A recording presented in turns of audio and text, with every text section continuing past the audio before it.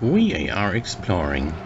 We're in Marked Tree, Arkansas again, and in part 2 of this two-part series, I'm going to show you the lock and siphons here at Marked Tree. And I promise you, if you're not an Army Corps of Engineer guy and you're not from Marked Tree, you're going to see something you have not seen before because this is something unique in the United States from the size and the efficiency.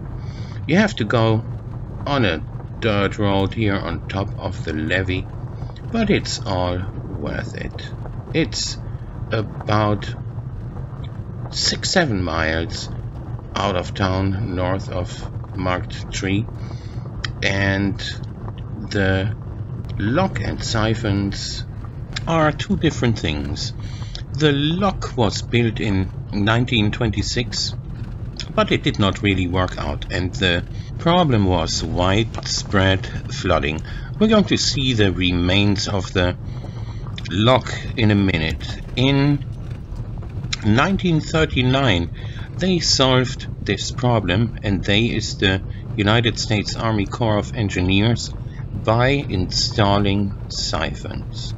Here in the front, that's part of the old lock system that has been abandoned and there we are coming up and what you see are the three siphons that cross the levee.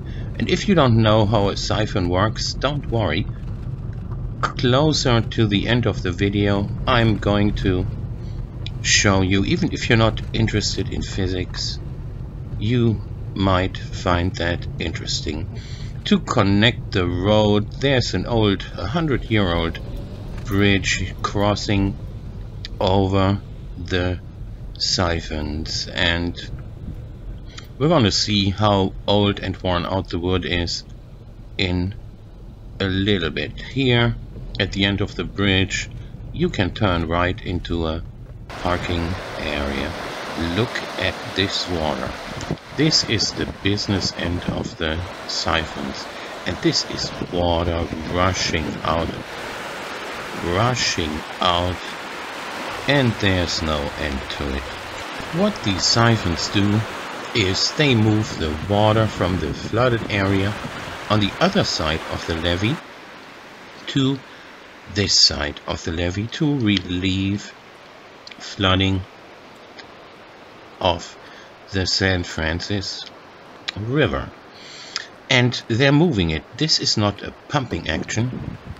This is physics at work. Here is the suction end of the siphons that is protected with a fence to make sure that not any debris or animals are sucked into it and spewed out at the other end. Look how worn the wood is on this narrow bridge that's just wide enough for one car to pass over. Yes, here is the suction end again and I am not sure if you are able to see that this flooded area we're looking at here is at a higher water level than the area over here where the water is moved out. And this is a natural flow controlled by physics.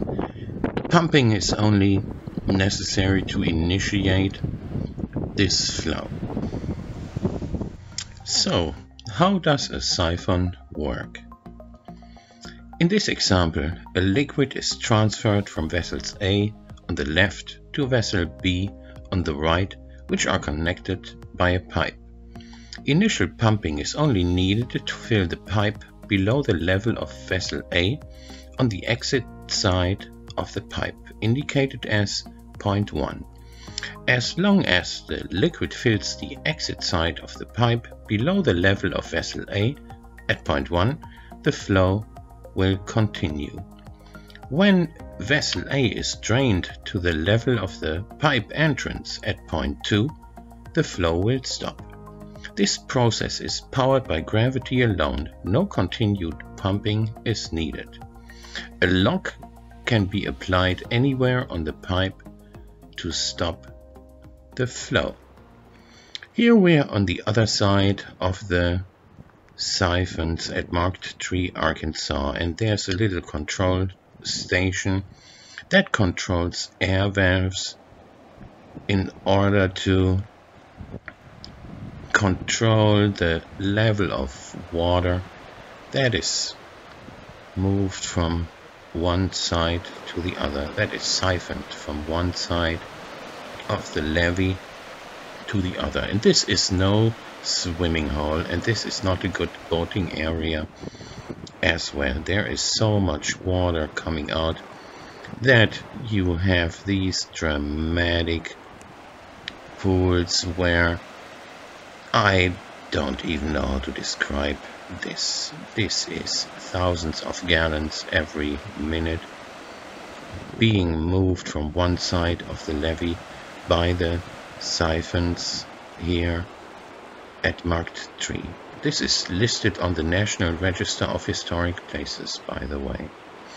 I hope you enjoyed watching this video as much as I enjoyed making it.